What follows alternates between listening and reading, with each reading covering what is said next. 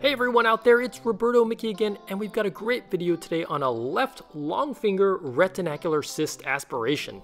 A retinacular cyst is a type of ganglion cyst that can be found on the flexor or palm side of the hand anywhere along the flexor tendon sheath.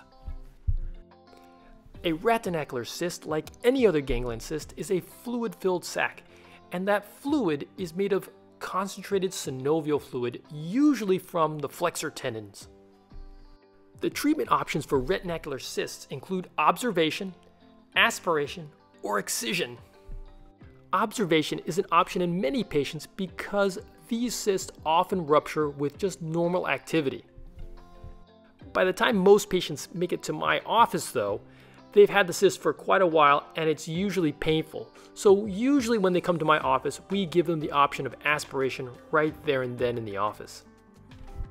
This video details an aspiration of one of those cysts.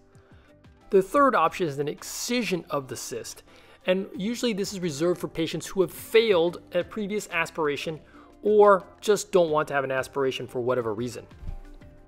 Plug for the channel, hit like and subscribe and help out our channel so we can continue making these videos. So before we get to the video demonstrating the actual aspiration, let's talk about the anatomy. And this drawing sort of details some of that information. This is a sagittal view or a view from the side of the finger and the structures in blue are the bone. The green is the flexor tendon sheath or the sock that covers the flexor tendon which is in orange and the reddish color is the skin. The palm side is to the top and the back side of the hand is to the bottom. So next we're gonna put our cyst, which is this purple little dot. So typically for an aspiration, we will spray the skin with this cold spray and then prep with an alcohol prep and then place a needle represented in this picture by the light blue line. So typically for this operation or procedure, I'll use a 25 gauge needle and I'll palpate the cyst and then place the cyst between my left thumb and left index finger giving my brain a little bit of localization of where the cyst is. Then I'll pass the 25 gauge needle between my two fingers through the skin of the patient and then into the cyst. Usually I'll hold it there in the cyst and squeeze with my other fingers and that drives the fluid usually into the needle. And then I'll remove the needle.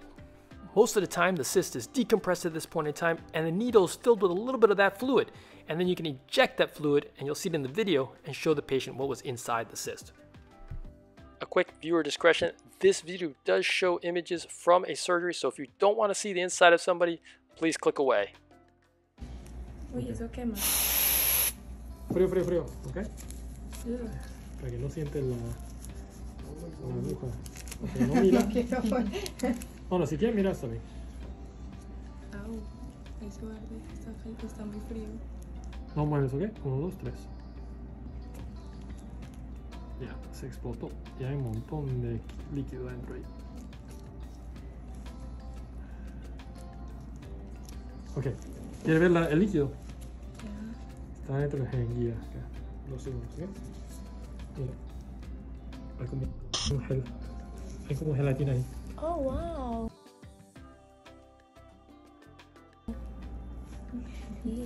Ok. Hope you enjoyed and thank you for watching.